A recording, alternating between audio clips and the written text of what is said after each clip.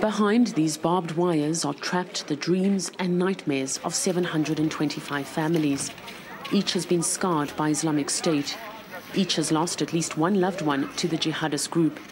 All are now here, without home and without hope. I didn't have time to cry or not cry. I was just in shock. I picked up and carried my father's dead body. I wish that ISIS had killed me too because my life is nothing now after this. Hassan Natian saw two of his closest family members killed in front of him.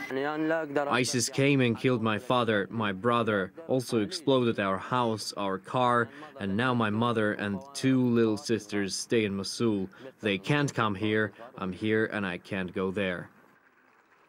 And with no idea if his family is still alive or not, the 19 year old cuts a lone figure at one of the largest tent cities in Erbil.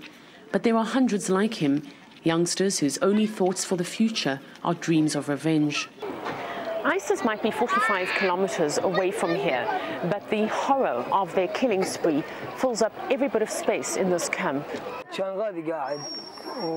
ISIS took my one brother.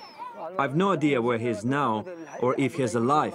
I call his phone number and ISIS answers and says, okay, come and fetch him. I said, if I come, you will kill me too.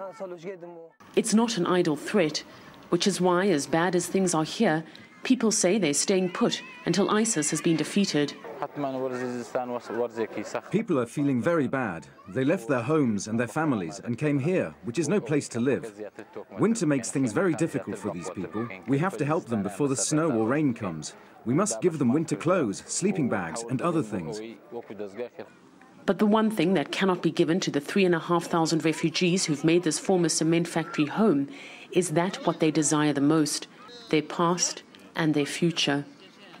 Paula Slier, RT, Baharka refugee camp, Erbil, northern Iraq.